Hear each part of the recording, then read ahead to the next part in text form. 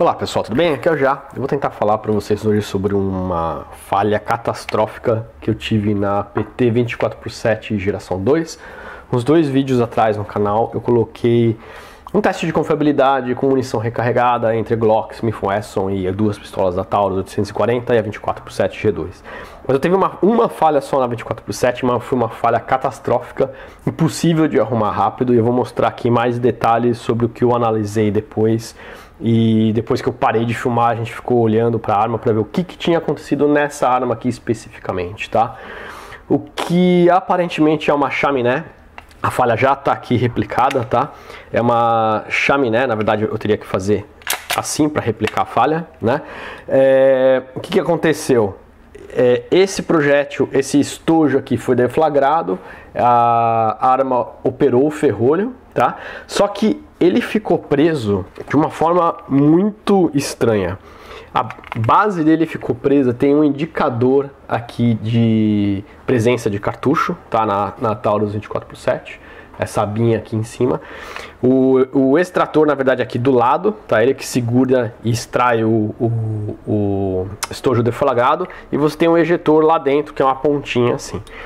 Tá? O que aconteceu? Ela, ela puxou esse estojo para trás, na hora de ejetar, ficou presa à base de uma forma que eu consegui replicar até fácil o que é um provavelmente um problema de projeto dessa arma aqui, tá? Ficou completamente preso aqui na, na base do, do, do estojo. É muito difícil de você tirar, tá? Não é simplesmente você fazer assim e assim.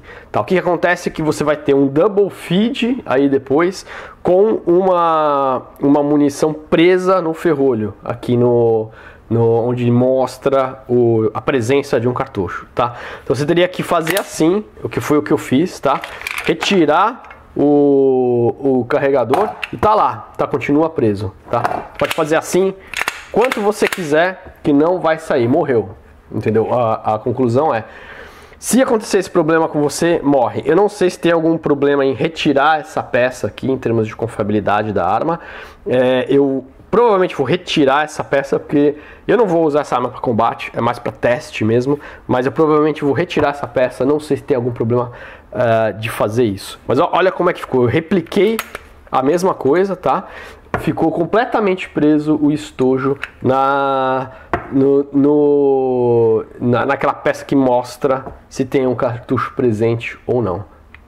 Olha lá, para vocês verem. Aí você põe, se você não der umas cutucadas fortes e, na, e ficou muito mais preso quando eu estava dando os disparos, aqui tá bem fraquinho, tá? Eu tô, tentei só replicar.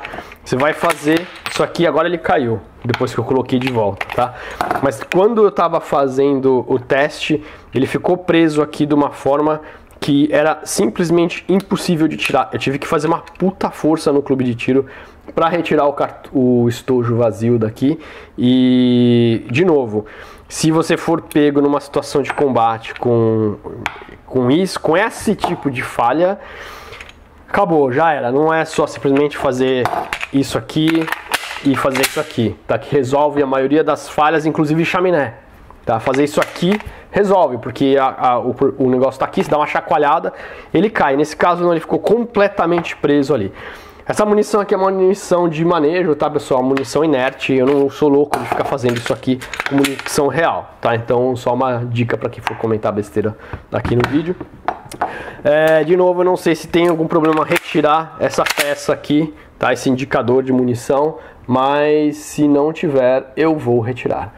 Isso aí é só para concluir aquele vídeo, uma falha uma falha que assim eu nunca tinha visto em nenhuma pistola. Pode ser que tenha esse caso em outras pistolas, mas eu nunca tinha visto. Foi a primeira vez que eu vi. E de novo, se fosse uma situação de combate, isso pode dar adeus à sua vida. Já era. Um abraço, até mais, tchau, tchau.